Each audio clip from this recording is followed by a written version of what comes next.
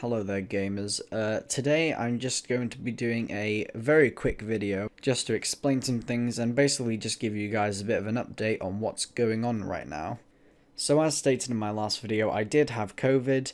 Uh, I am now fine, but I was very bad for a while.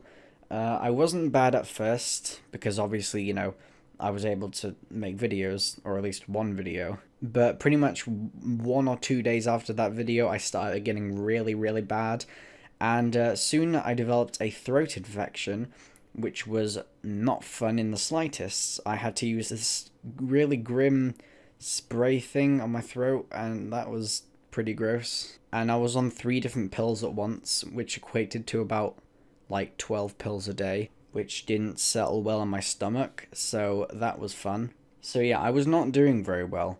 Now, I've been better for quite a while now, but I haven't been able to upload that much, and also won't be able to upload as much as I used to, sort of thing, a few months ago. And that's because I basically officially started my GCSEs now, which means a lot of my time is going into revision.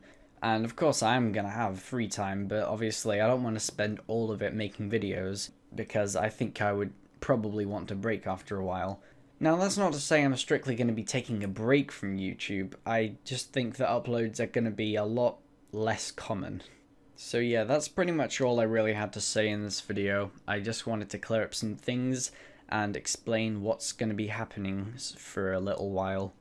Anyway, I will see you probably in not too long, hopefully. Anyway, goodbye.